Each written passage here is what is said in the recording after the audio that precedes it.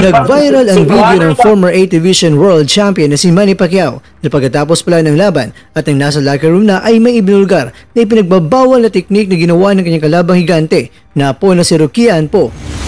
Cuando alas is my boy sinupalpal ang asero ng Pinas na si Vincent Asolabio ang tunay na dahilan alamin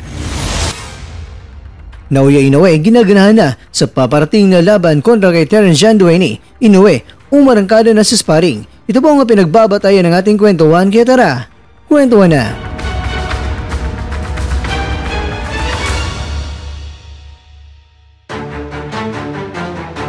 Ang video ito ay talagang nag-viral sa social media dahil hindi sukat akalain ng ilan na hindi napigilan ni Pacman na nagsalita pagkatapos ng kanyang laban niyan po. Alam naman natin mga kwento na hindi matabil ang dila ni Manny pagkatapos ng digmaan ng kahit sinuman na nakalaban sa kanya pero dito ay talagang nahagip sa kamera ang tila ba may na reklamo ni Pacman sa naging laban nila ng hapon. Dito ay ating makikita ng team ni Manny kasama ang kanyang may bahay na si Jinky Pacquiao na nagsasalita ng Cebuano na kung saan dito ay in-execute ni Manny kung ano nga ba ang tunay na nangyari sa laban at kung anong kabalbala na ginawa ni Rukia sa kanilang laban. Ayon kay Manny, kapag sumusuntok itong si Rukia ay may sikong tumatama sa kanya.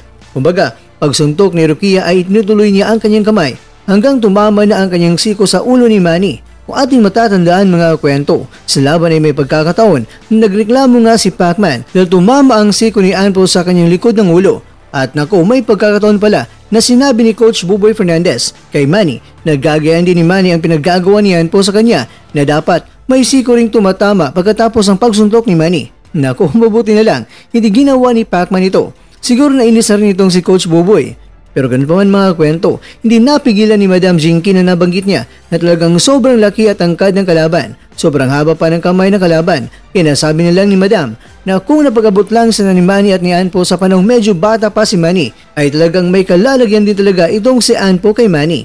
Pero honestly mga kwento, habang nanood ako sa live maraming mga ataking ginawa ng hapon, na kung saan sa live ay parang tinamaan si Manny. Pero nagulat na lang ako sa replay na halos ang mga suntok ni Anpo ay tumatama lang pala sa mga gloves si Manny. Bagamat may ilan ding mga solid punches na natatamaan si Manny. Pero sa panahon nagbibitaw na ng mga kombinasyon ng kalaban ay nasasangga pala ito ni Manny pag pinapanood mo yan sa replay. At kung ating titingnan naman sa mga close-up pictures sa ilang beses din, numalog ang ulo at ngumuwi ang hapon sa suntok ni Manny. Kaya lang, medyo dismayado nga si Manny dahil hindi niya inakala na pati pala siko ni Anpo ay tumatama na sa likod ng kanyang ulo.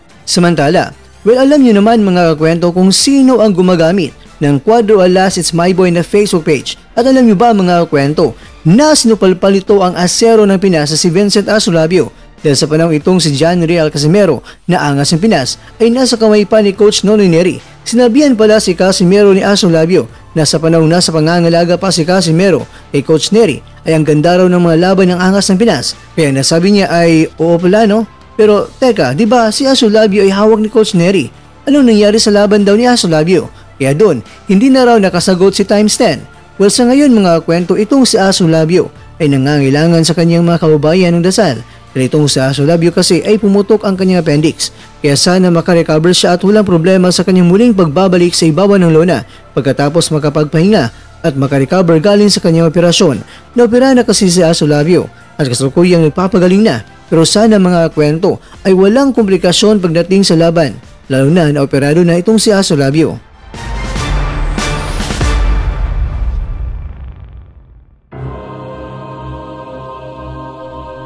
Mga kwento, may magandang balita ako sa inyo dahil may sobrang excited na kasi na boksingero dahil sa susunod na buwan na ang laban nito.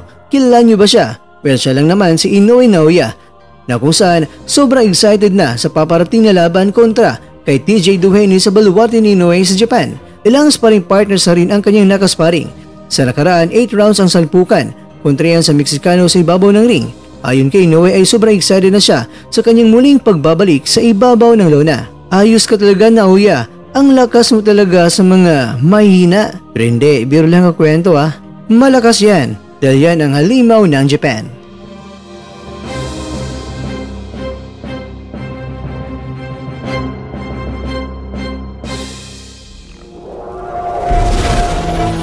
At dyan, nagtatapos ang ating kwento.